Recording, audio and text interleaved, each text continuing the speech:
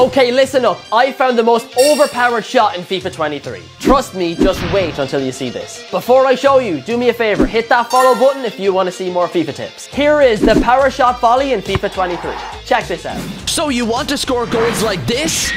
Let me show you how. There is a trick this year with power shots. When the ball is in the air, power shots are more accurate. The best flick for this has to be the ball roll sombrero. For this skill, you will need a 5-star skiller. Ball roll left or right of your player and click in the right analog stick. This will flick the ball in the air. Hold L1 and R1 and shoot to power shot and check out that result. This shot is extremely overpowered and man does it look good. Enjoy making your opponents rage and make sure to follow for more FIFA tips.